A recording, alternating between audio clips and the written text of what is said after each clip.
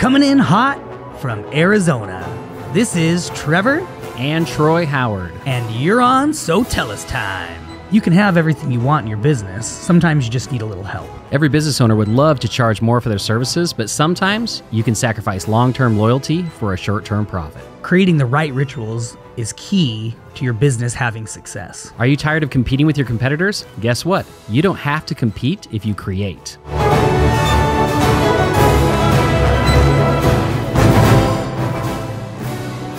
Hey, everybody, welcome. it's another episode of SoTellUs Time, and we are excited to be with you today. It is November. Crazy. Halloween's over. It's like I talked Yeah. about in last episode. Halloween's over.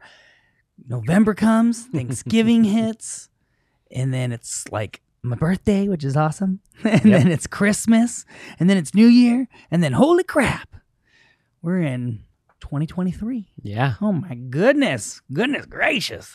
But I can tell you what, Troy, we have been following here at SoTellUs. We have been following this SoTellUs Time podcast, you know, homework that we give out every week. We've been doing it ourselves, my friends. And let me tell you, we are having one of the best years ever. We are. Yep. We're having a big year. We're making big moves, big things happening. I hope you are too. If you've been doing the homework, then you are. Trust me, I know because I'm implementing it and it's working. So today we're going to jump in. We're going to talk about fear. Fear, because as entrepreneurs, we're very fearful. We're timid. we like crawl under a rock or stick our head in the sand. We we don't want to get outside of the bubble, right? No.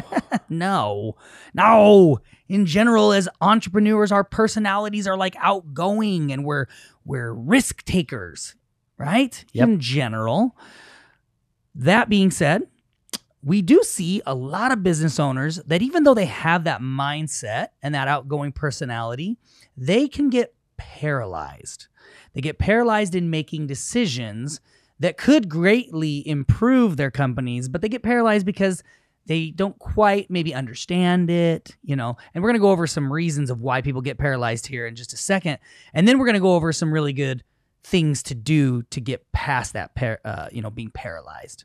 Yep. Um, but the thing is, even as a business owner with the personalities that we have, we can still be paralyzed in certain areas because we don't quite understand it or for a few of these other reasons. So we're going to jump in and go right over those. Let's do it. Let's get this fixed. No more being paralyzed. Let's build our businesses and make some money. All right. So, some of the reasons for being paralyzed. Number one is, uh, like Trevor said, a lack of understanding. Mhm. So, I want you to think about like you're making business decisions. You're making these decisions of which way your business is going to go. Yep. And sometimes you're just, you have a lack of understanding of like, man, what is the right thing to do? So, often with our curious minds, and controlling mindsets, we want to understand how something works, why it works that way before we make a decision to move forward That's right. and we want to we, you know we basically want to learn everything that we can and maybe kind of do it ourselves Totally. um, so we can feel more confident in the strategy Yeah. but unfortunately that can slow our business down Absolutely. right that can put us in this state of paralysis. I mean, it, it does make sense to a degree. It's like, well, how can I hire someone to do this if I don't understand how it's done? Well, I can see where you're coming from, but I can also tell you that's going to hinder your growth. right Okay, so we'll talk about getting over that in a little bit. all right another one is lack of time we find ourselves wearing all the hats in our business Mhm. trying to be everything to everyone Yeah. and every part of our company Yeah. And because we're wearing so many hats and we don't have time, it kind of creates this, you know, this sense of paralysis in the business. Yeah, absolutely. Right? We're working in so many different areas that we never really move forward Correct. in any one area specifically. Mhm. Um, and another one is just straight up completing tasks. You know, working in the business can be easier than working on the business. Yeah, yeah. Getting in there and getting these little tasks done feels great. Yeah, I love tasks. Yeah. It's so funny. I I love Check checking off. off. tasks. I love doing that. I was talking to someone the other day, and we were creating this task list, and they they like I had two tasks because they put it in one task, and I was like, no, no, no, you need to just like split those out into Yeah. two tasks, And they're like, why? I'm like, so that I can check both of them off. Yeah, like I'm a go getter. I'm super motivated. I am going to complete a task. You give me a task, I am going to work on it 24 7 until Yep. that task is completed. What I find to be the hardest thing for me often is if there's not really an explanation of what I'm supposed to do. Yeah. If there's not like a goal of like, well, you're, I mean, the goal is maybe very broad and there's not like this checklist to get to that goal. That's really hard for me because then I kind of step back and I'm sitting there left, you know, holding a bag, wondering like, what do I do? How do I, how do I accomplish this? Right. Exactly. But so so it's like we can get so like into oh I did this and I did this and I did this and just checking off that list, a lot of those things are working in the business, not on the business where we know on the business is where we're going to grow. Exactly. All right. So let's talk about the steps to take. First and foremost, you know, realizing that there are times we need to learn uh, how to do things ourselves because of basically a lot of times it comes down to lack of funds and resources. Right.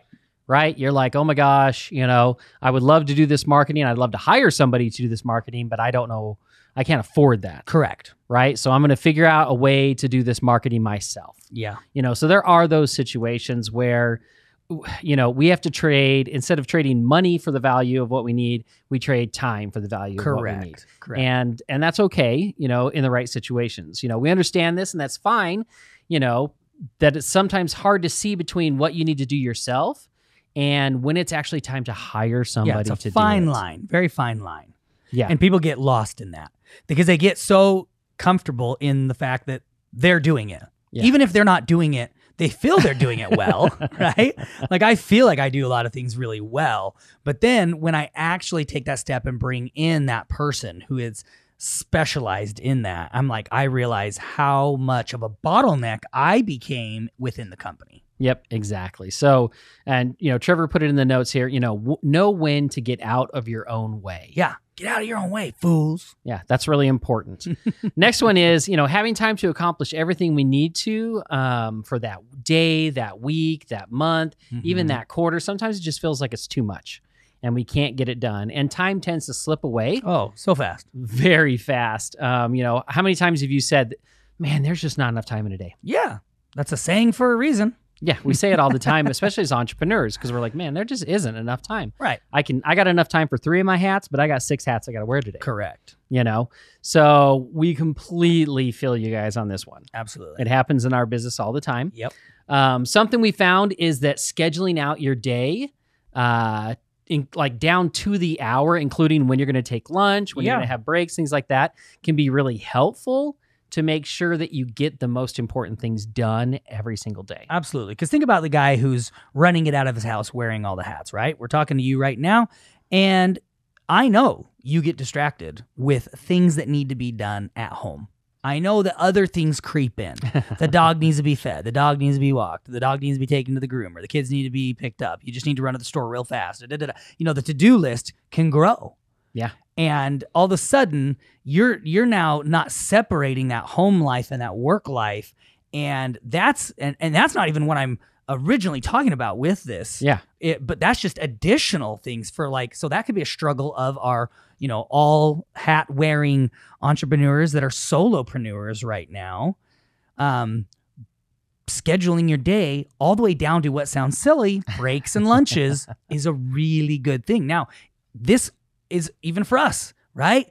Multi-million dollar business all these employees lots of clients. Troy and i schedule it down and we're teaching our employees to do the same thing. Yeah. fill your calendar with the time that you're going to work and dedicate to a single project or whatever that is those tasks and then accomplish that in that and and move on to the next thing. I mean it really makes you more efficient because there's always going to be more work for tomorrow. Yes. right And it helps you prioritize what is most important, right? yeah And I, one of the things, like if you look at my calendar, it's crazy. Like there is boom, boom, boom, boom, boom, everything down there. All my tasks are in my calendar. yeah And it's, but it's great though, because when you would think, you know, you might think that, oh, well, it's easier for you guys. You have all these employees to do work for you. you're right But I can't tell you how many times during the day employees are coming into my office going, "Hey Troy, what about this?" and "Hey Troy, da da da," and "Hey Troy," and "Hey Troy," and "Hey Troy." Mm-hmm. And the great thing is, I have a calendar, and they go, "Hey Troy, can we can we go over to this? Can we talk about this?" I'm like, "Ah, you know what? I can't. Yep.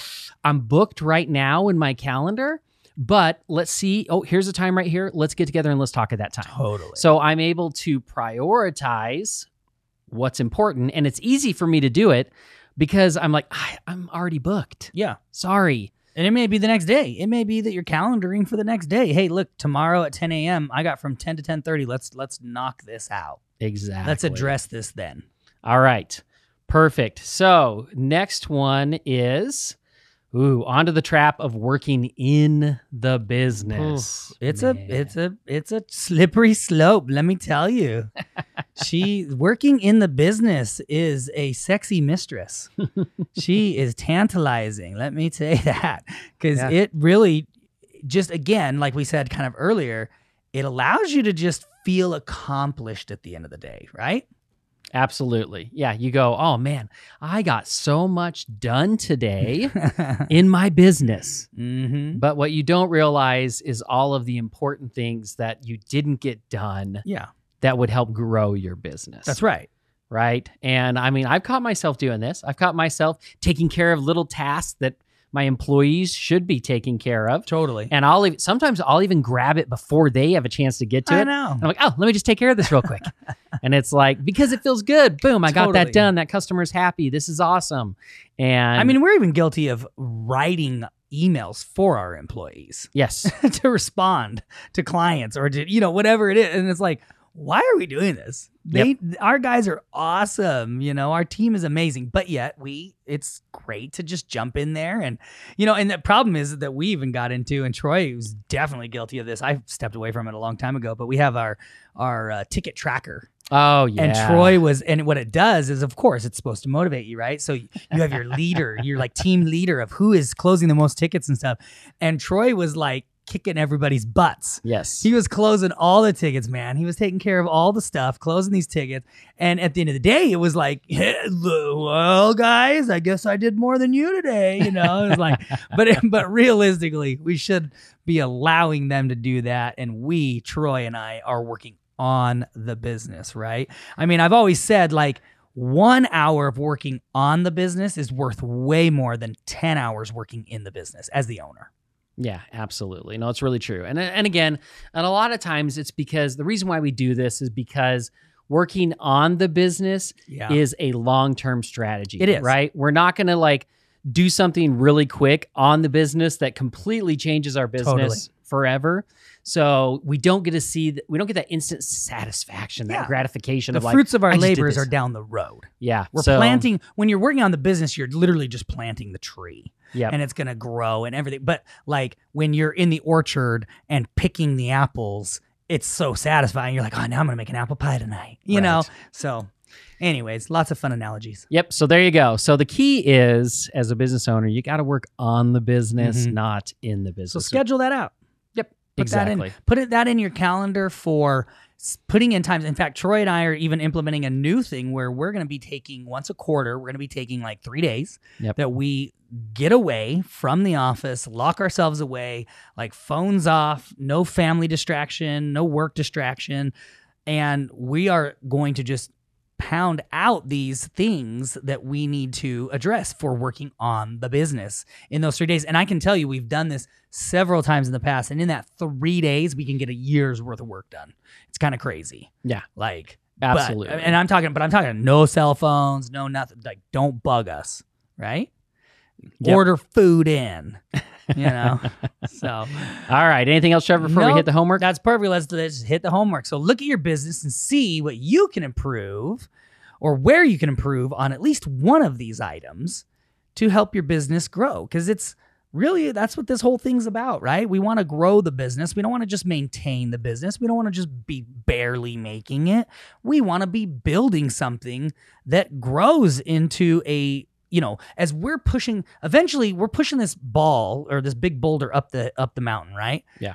eventually we got to get to the top and when we do it teeters and it just takes a little bit of doing the right things to have it just start rolling down the other side. And that's where all the gravy comes. I mean, Right. it's just exciting. So, all right, guys, implement something from this podcast this week. Okay, before next week's podcast. We love you. We appreciate you. We'll catch you guys on the next episode of SoTellUs Time.